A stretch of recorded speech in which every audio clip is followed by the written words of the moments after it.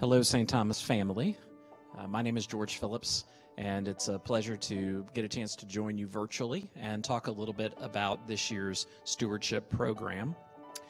Um, you may know me from uh, seeing me online with Father Garv and some other videos, and I promise we're not going to talk very much about COVID this time. Um, my family, my wife Robin, and our three kids, Carter, Kelsey, and Allison, uh, we started attending St. Thomas uh, back in 2015 when we moved here from Iowa City.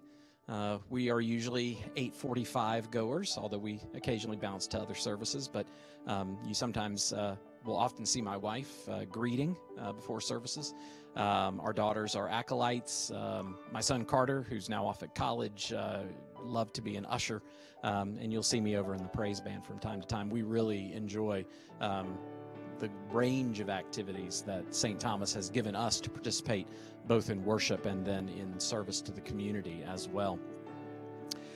When Bruce and Father Gar both asked me to share a few words about um, participation in uh, stewardship, it, it was a little tough this year. You know, I, I I am your senior warden, and so I, I, do know a lot of what's going on in the church. Uh, but I was struggling a little bit to find the right words. And I, I think part of that just reflects the craziness of the last year and a half, excuse me, that we have all been through. And it's not just the pandemic, at least for me. Uh, there have been lots of things in this last year or so. Um, sending our oldest child off to college was a big change.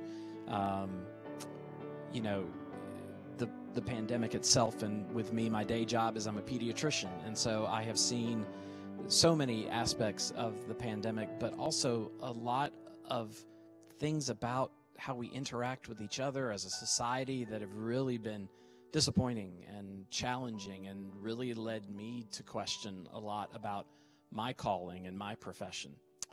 And so then you put all that against the backdrop of saying, oh, it's time to ask everybody for their time, talents, and treasure again. And it makes the ask a, a little understandably hard. And so I, I, thought, what what should I do to come up with the right words? And so I, I went to the Episcopal Church website and looked up stewardship, and sure enough, there was a wonderful quote, and it's in this week's Tower Talk. If you get to see it, I, I asked to put it in there, and it talks about that stewardship is the act of building community out of a spirit of abundance rather than a mindset of scarcity. And when I stop and think about our lives as a parish family, we are rich in that family. We, we do so many things in the community from the youth programs, mission programs, supporting other community organizations. We do so much to support each other uh, neighborhood groups, other small groups that meet here at the church.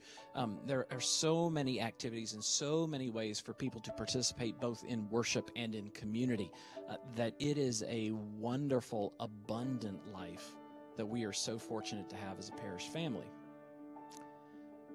And that really helps to drive away the scarcity that I know I feel sometimes when I think about the way that life seems to roll along.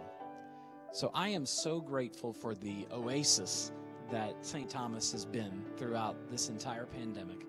And I'm so grateful to have had the opportunity to serve you during that time. And I'm immensely grateful for the gifts that you, as a parish family, have given to me and to my family to support us through this time. So it's time to make that ask. Uh, time, talents, and yes, treasure we need all of those to continue to grow as a parish as we've done throughout this pandemic, which is amazing in and of itself. But I also want you to prayerfully think about stewardship in terms of what's the opportunity for you to receive by giving your time, your talents, and your treasure. What is God calling you to do in service? And what door is He opening up for you to also live more of that abundant life. I hope you'll prayerfully consider that with me and with all the other members of the St. Thomas family. And thank you for being part of our parish family.